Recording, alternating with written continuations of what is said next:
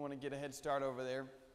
A um, couple of things, though. One that I want you to help me uh, just celebrate with and praise God with. We had uh, one of our teens that was baptized last Wednesday over at Cross Ministries. Um, he's actually here. I won't embarrass him by making him stand up, uh, but he's, he's back in this area. Um, his name's Raymond, and he, he was baptized Wednesday. Oh, there he goes. There he is. Right there. So he was baptized Wednesday, and I'm going to talk a little bit more about him. He didn't know that um, today, but I'm going to talk a little bit more about him at the end of the service today. But I just wanted to let you guys be aware of that and to praise God with us. And then also just some updates from uh, Cross Ministries and Main Street.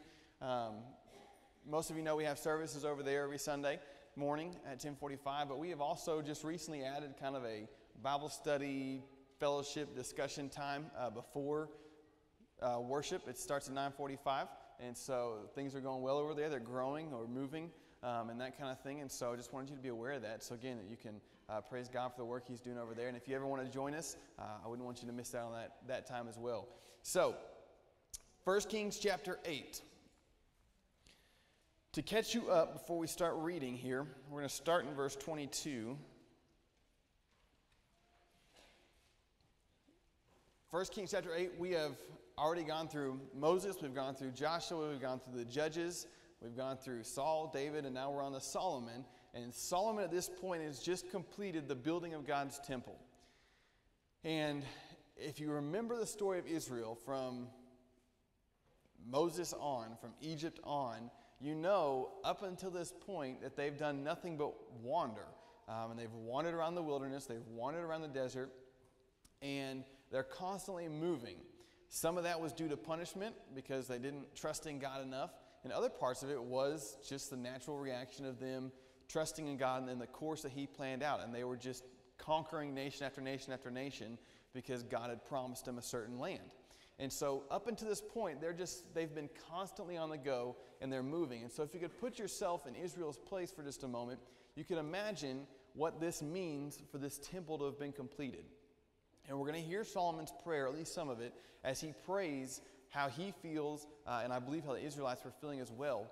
But if we put ourselves in their place, we've been constantly moving from generation to generation, either moving again out of just punishment because we didn't trust God, or, or we're overtaking nations and we're moving into this land and that land, and always on the go. And God is the same way. He's been on the go with us the whole time. And so he comes down, and when he's with us, he comes down this huge uh, cloud of smoke, or he leads us by a pillar of fire, either one. And so he comes down, and he, we can see his presence, and then he removes it from us. And then he comes down, and he's physically with us, and then he removes. And so, what this temple means is God's never going to leave again.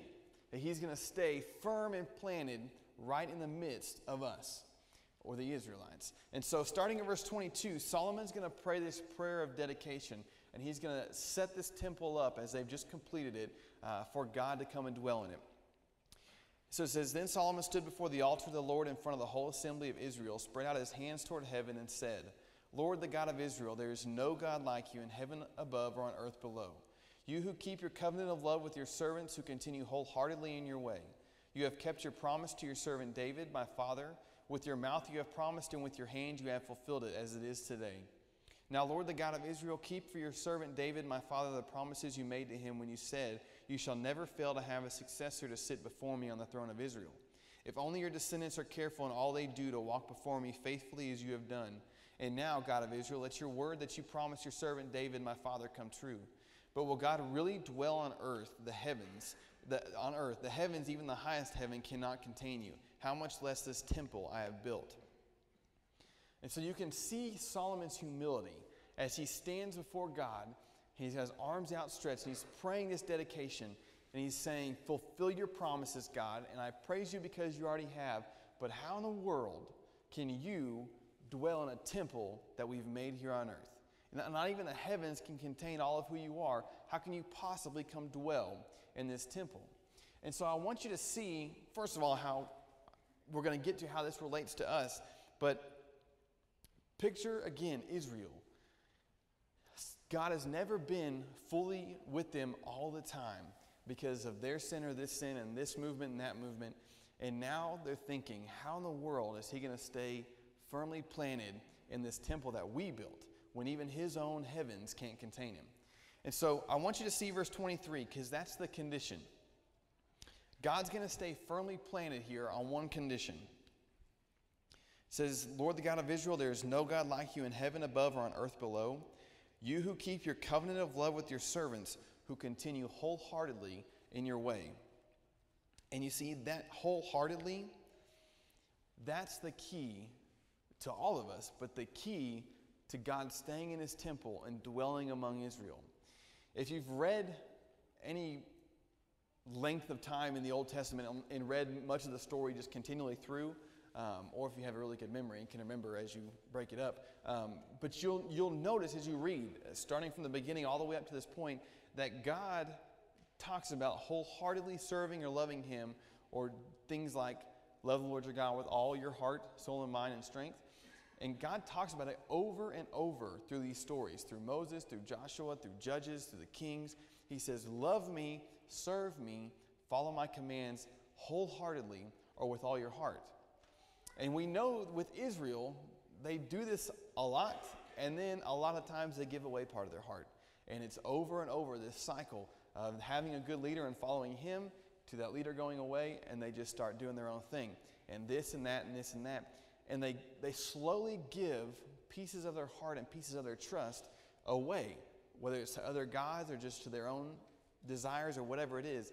And they slowly give it away, and every time they do, God leaves the camp and He gives them over to their enemies. And so God's been telling them from the beginning, and Solomon echoes it here in his prayer if, I, if we'll serve you wholeheartedly, then stay with us like you promised. He goes on in 1 Kings 8 and lists all the different reasons or different situations that the Israelites might find themselves in by not serving God wholeheartedly. And he says, whenever your people are taken over by other enemies and they go to war and they go to uh, and other enemies capture them because they sinned against you, when they turn back, God come back to us, forgive us and heal us. He says, whenever we've sinned and you stop the rain and you send famines or plagues, um, or sicknesses, whatever it is, when we turn back to you, God, when we serve you wholeheartedly again, then come back to us, dwell in the temple, dwell among us, and, and forgive us of our sins. Skip down to verse 41. I think most of us would agree with the, with the scriptures and with the saying that God never changes, that God is the same yesterday, today, and forever. I think most of us would agree with that. But if you're like me, when you think about God in the Old Testament and God in the New Testament, it's like two totally different gods almost because the God in the Old Testament is so fierce and he's so to the point and you get it you do what he says or you die and you and if you do what he says you live and it's so immediate consequences it's so immediate judgment and he's just sending his people out to this point just constantly overtaking other nations um, and it doesn't seem like there's much room for hey, you guys want to come worship at the temple with us today? uh, to, the, to the foreigners or to the non Christians. And so, God in the Old Testament toward God in the New Testament Jesus seems very different. But I want you to know, if you don't already, if you haven't spent some time looking, God in the Old Testament is the same exact God of the New Testament. And the way I like to look at it is I like to read the Old Testament looking for Jesus before Jesus. And what I mean by that is there's all kinds of teachings that God set up, there's all kinds of characters in the Old Testament that do the exact same things Jesus taught and did well before Jesus actually came to dwell on this earth. And so I want you to see that this temple that they set up and the way God says, I'm going to dwell among you, applies perfectly to us today. So, 41, uh, starting on 41, Solomon says, As for the foreigners, who does not belong to your people Israel, but has come from a distant land because of your name. For they will hear of your great name and your mighty hand and your outstretched arm. When they come and pray toward this temple, then hear from heaven your dwelling place. Do whatever the foreigner asks of you, so that all the people of the earth may know your name and fear you, as do your own people Israel, and may know that this house I have built bears your name. And so you see, even though God has sent his people out time and time again to destroy these enemy nations, there are still a, there's still a chance for people to come to his temple, to where he's at, and pray to him. And Solomon says, Lift them up, do whatever they ask, because your name will be glorified through it. And so God's seeking these people. Skip to verse 46. He's talking about all people here. when they sin against you, for there is no one who does not sin. That should sound pretty familiar to you. Romans 3:23, all have sinned and fall short of the glory of God. Solomon says it first. No one doesn't sin. Everyone sins. And you become angry with them and give them over to their enemies who take them captive to their own lands, far away or near. And if they have a change of heart in the land where they have held, are held captive, and repent and plead with you in the land of their captors, and say, We have sinned, we have done wrong, we have acted wickedly. And if they turn back to you with all their heart and soul in the land of their enemies who took them captive, and pray to you toward the land you gave their ancestors, toward the city you have chosen and the temple I have built for your name, then from heaven your dwelling place, hear their prayers and their plea, and uphold their cause, and forgive your people who have sinned against you.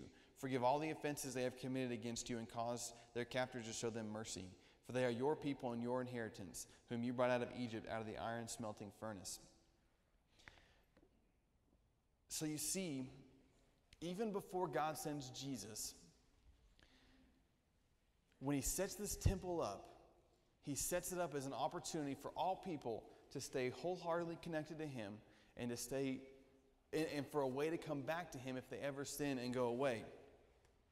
You don't have to turn over there. You can uh, go back and read it on your own time. But 2 Samuel 14 14 says, the, the second half of that verse says, God devises ways so that a banished person may not remain banished from him.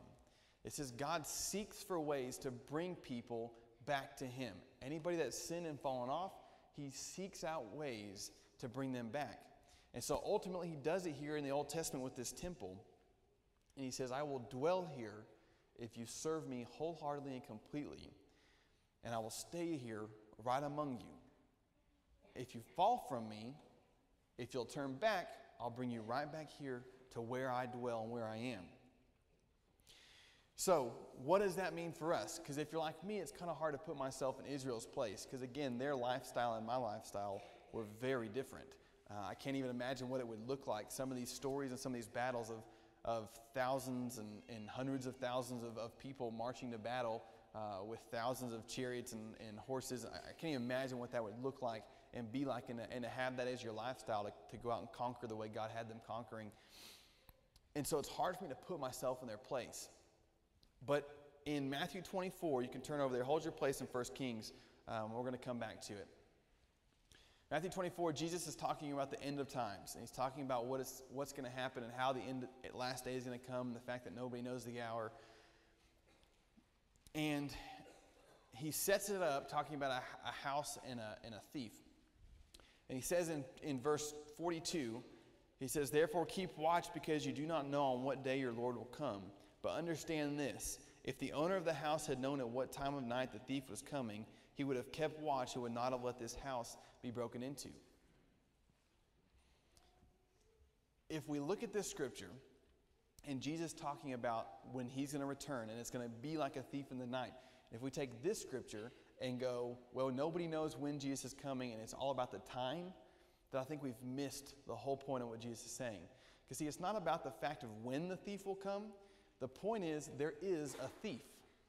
Like, that's the point. There is a thief. And so, what are you going to do about it?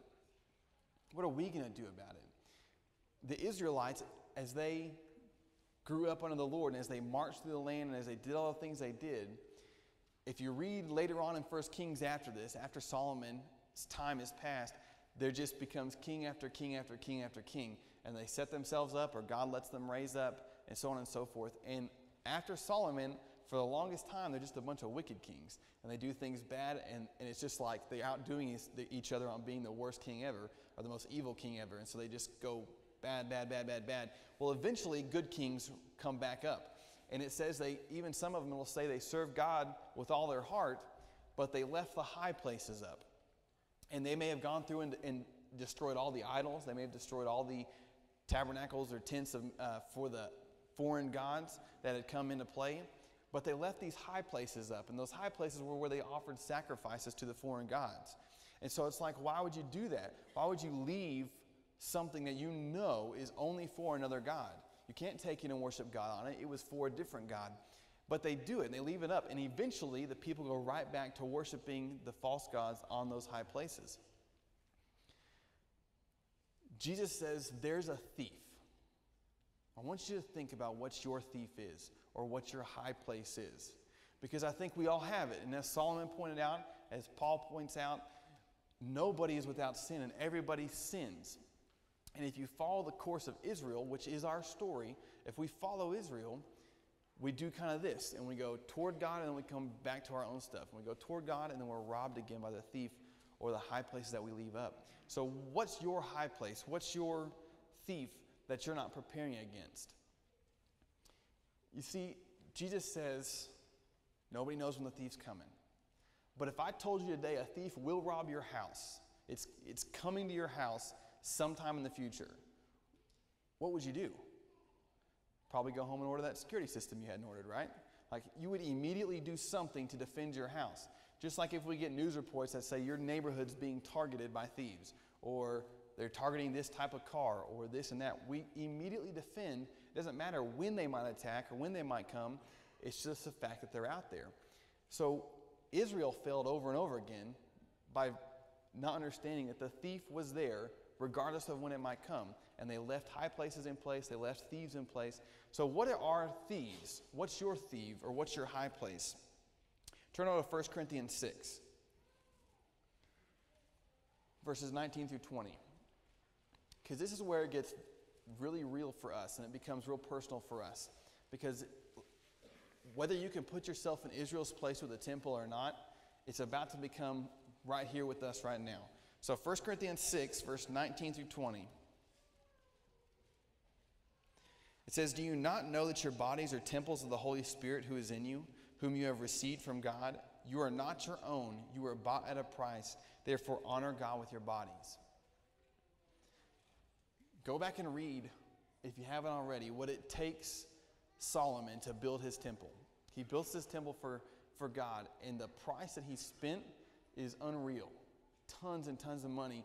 He tons of gold, tons of silver, jewels from all over, lumber from all over, all over the world. He's bringing the best in. He spent an incredible price to build that temple. Our temples were bought at a price that trumps that uh, like you couldn't believe. We were bought with such a price with Jesus' own blood, with Him se- uh, separating Himself from God. We're not our own, we're God's temple. God said He will remain in the temple as long as His people serve wholeheartedly. If they don't give any small piece away, no matter what it is. Even like Achan, if you remember the story of Achan, Achan did exactly what God said. He went with the army, he helped destroy the enemy, he, he, he took over the entire town, but God said, Don't take anything. And he couldn't help it. He took one small part of his heart and he took a little bit of stuff and brought it back to his tent. The moment he stopped serving God wholeheartedly, God left him. And Achan and his whole family ended up being punished for it and, and wiped off the earth for it. But if we stay wholeheartedly connected to God, God stays in the temple. He won't leave it, He'll stay right there. So God's in each and every one of us. So we're the temple of God. So protect against those thieves and protect against those high places. Whatever it is that you've allowed from the world to stay in your life, we've got to get rid of because God demands wholeheartedness. If you're not back in 1 Kings 8, flip back over to 1 Kings 8. I want to leave you here with the end of Solomon's prayer. Solomon prays this prayer and then he gathers all the people together and he's praying over the people and the temple. We're going to start in verse 56. It says, Praise be to the Lord who has given a rest to this people Israel, just as he promised. Not one word has failed of all the good promises he gave through his servant Moses. May the Lord our God be with us as he was with our ancestors. May he never leave us nor forsake us. May he turn our hearts to him to walk in obedience to him and keep the commands, decrees, and laws he gave our ancestors.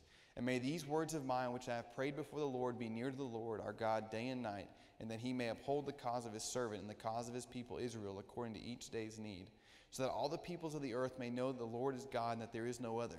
And may your hearts be fully committed to the Lord our God, to live by his decrees and obey his commands as, as at this time. Some of your versions in that verse 61, he looks at the people and he says, And remember Remember to stay fully committed. Remember, you have to be fully committed to God. But Solomon wraps up this prayer, and he ends up this prayer in dedication of the temple by saying, God, keep your promises to stay with us if we'll keep our promise to stay, co- to stay wholeheartedly connected to you. And he says, and if we'll do that, then all the people of the world will know that you are the only God. If you fast forward to the New Testament, Paul tells Timothy the same thing. He says, Persevere in your teachings and in your doctrine and in your life because it'll save you and all those who hear you. Uh, Peter says the same kind of thing that love covers a multitude of sins. That if we'll love each other enough, if we'll love God wholeheartedly, if we'll stay persevering in our life as His temple, then we'll not only save ourselves, but we'll save the foreigners or the non Christians. The world will know that God is God and the only God. Raymond, baptized on Wednesday, Raymond uh, likes to write songs and he write, writes lyrics. And as soon as he got home, he wrote a song about his new life in Christ. And the first line he put on it was, Tell the world.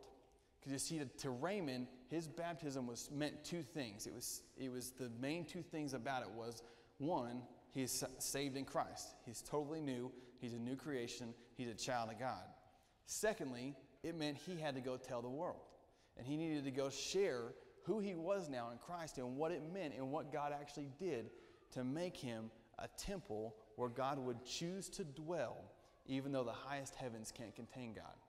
But he would choose to dwell inside of Raymond and inside of me and all those who, who are God's children. You see, the prayer of Solomon was that we would wholeheartedly love God so much that even the enemies of God would turn and come pray at that temple and know that God is God, and that they would have a chance to be returned from banishment or returned from exile and become one with God as well. So, how's your temple? Is it defended against the thieves or the high places of this world that we leave in place to worship other things? Is it, is it a temple that when you go tell the world, you actually have God dwelling in you because you're wholeheartedly there? If Israel ever left God and they said to another nation, hey, you should go to the temple, God wouldn't be there because they had turned away from God. When you tell the world about your temple and about your God who dwells inside of it, is God there? Are you wholeheartedly serving God? You see, that's the key. If we can do anything for you today, uh, if you haven't given your life wholeheartedly to God so that He can dwell in you as a temple, if you have let your temple be overrun by other thieves or high places and you need prayers and you need to come back to God, um, if you just need to talk, whatever you need, give God your whole heart uh, and He will dwell inside you. Come now as we stand and sing. Hide me.